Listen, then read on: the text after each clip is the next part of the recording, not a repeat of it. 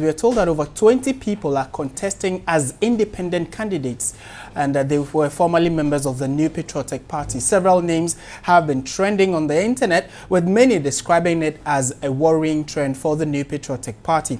TV3 cannot independently verify the list that is being bandied about on the internet, but submission of nominations ended on Friday from the Electoral Commission. I would want to get details on this particular story. And uh, we've been joined on the line by Martin Agyei-Mensah Korsah. He's the Director of Elections of the New Patriotic Party. Martin, good afternoon. Thank you very much for your time.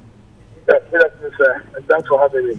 Good. Um, can you confirm uh, whether or not some members of your party have decided to go independent? And if yes, can you help us with the numbers? Well, first of all, let me say that uh, there is some falsehood, absolute falsehood, being peddled about by some members of the society. What the motive is, only them can tell. I have seen or heard some news making the round, quoting certain numbers as NPP people going independent. And a number of places, I mean constituencies, have been mentioned. Checks by us indicate they are completely false. And I want to assure our rank and file to disregard this information.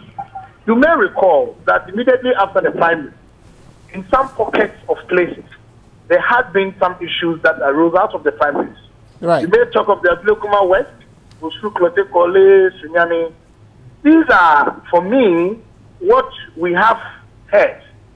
And there is some confirmation to that effect somehow. The forms have been picked. But beyond this, all the other stories that you hear are all hoax. They are not true. They are false. There But- was a case in Bantama where, due to some form of miscommunication, Okay. the member of parliament filed or sent his documents, Right. and that I can speak to you about. That Okay, indeed, so- that so- happened because uh, from his explanation, there has been some miscommunication that happened.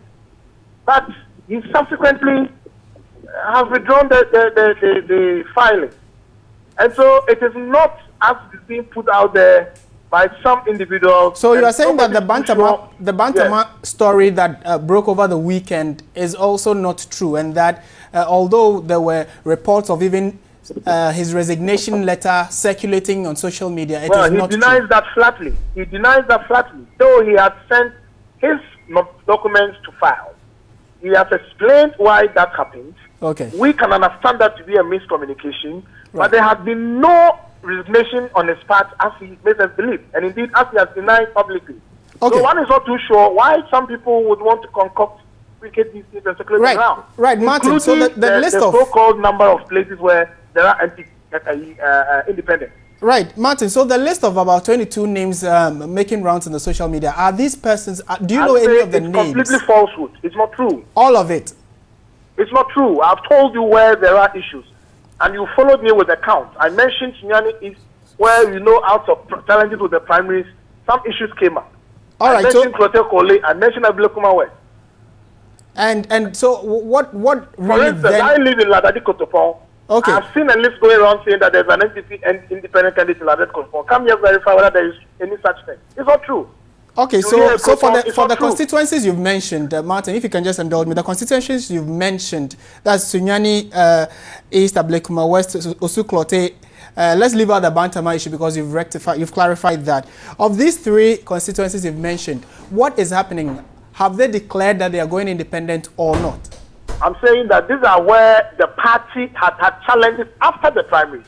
Okay. That even before filing on Thursday and Friday, you talking to me may have seen people put posters and so on that you are going independent. Unless you are not aware of that, you are. And so those are the issues that I want to refer to and say if anybody had decided to even go independent, or there were challenges of issues of independence, these are the people places that I can speak of. But not any of the concocted ones that is making the round. Okay. Those are complete falsehood.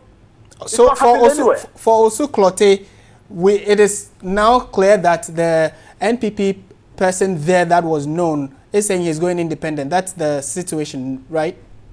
What I'm saying to you is that forget about whoever is going independent today. I'm saying that No, we just want to focus on this. We just want to focus on the I three that you have that- mentioned.